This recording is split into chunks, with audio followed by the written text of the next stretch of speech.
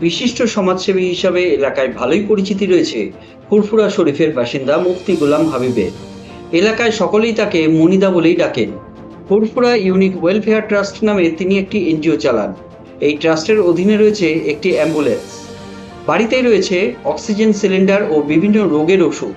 এলাকাবাসীরা দারুণভাবে উপকৃত হন তার এই পরিষেবায়। কিন্তু তার অভিযোগ, বর্তমানে এই কুড়ি বছরের পুরনো এনজিও চালাতে গিয়ে বিভিন্ন সমস্যার সম্মুখীন হতে হচ্ছে তাকে।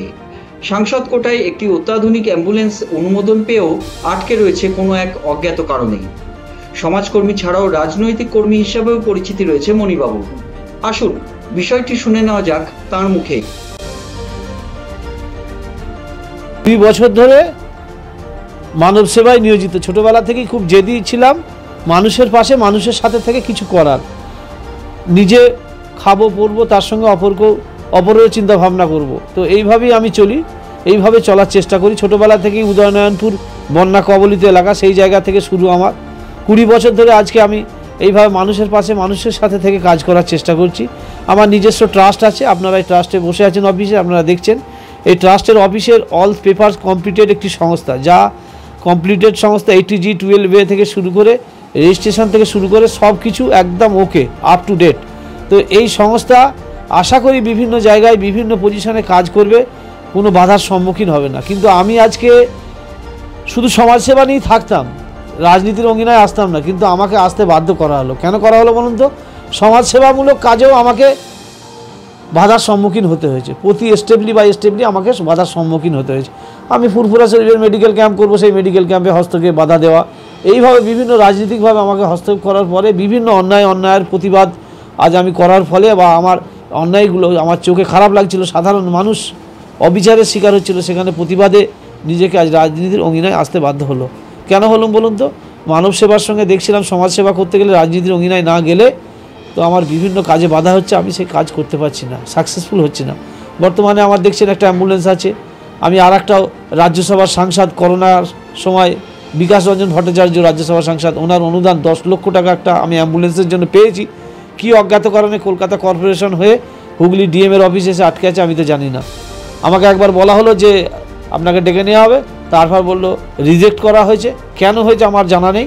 আমি তো জানি একটা ট্রাস্টের অলস পেপার কমপ্লিটেড সংস্থা, সেই ট্রাস্টের রেজিস্ট্রেশন, আইটি ফাইল এইটিজি টুয়েলভে দর্পণ থাকলেই পাওয়া যায়। কিন্তু আমাকে বলছে যে আপনার ট্রাস্টের ল্যান্ড চাই। ল্যান্ড কি আমার তো প্রজেক্ট নয়।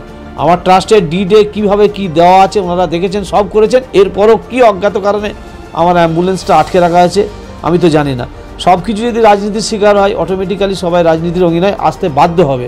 আমি মনে করি মানব সেবা দেওয়ার জন্য ফুটফোরা শরীফের মতো জায়গায় এই যে অ্যাম্বুলেন্সটা আটকে রেখেছে, এই আটকে রাখা একটা প্রভাব পড়বে।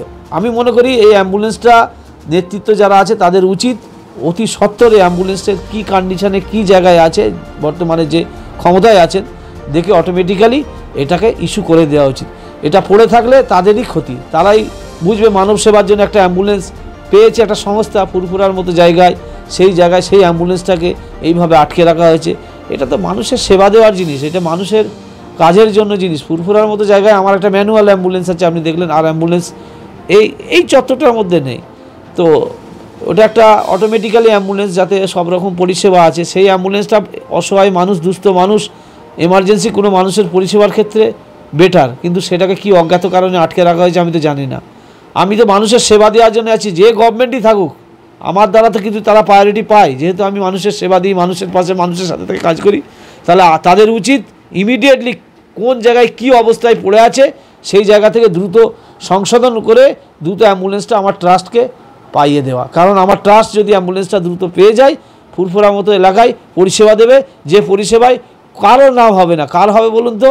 বর্তমানে যারা আছেন তা, প্রশাসনে তাদের নাম হবে। কেন হবে বলুন তো? যে এই অবস্থায় ওরা প্রশাসনিক অবস্থায় অ্যাম্বুলেন্সটা এখানে দিয়েছেন পরিষেবা দেওয়ার জন্য। রাজ্যসভার সাংসদ বিকাশ রঞ্জন ভট্টাচার্য বহুদিন আগে অনুদানটাকে অ্যালাউ করে দিয়েছিলেন। কিন্তু সেই অনুদানটা আপনার কলকাতা কর্পোরেশন আমি সব পেপার্স দেওয়ার পর দিল্লি থেকে হয়ে হুগলি ডিএম অফিসে এসে কি অজ্ঞাত কারণে পড়ে আছে আমি জানি না।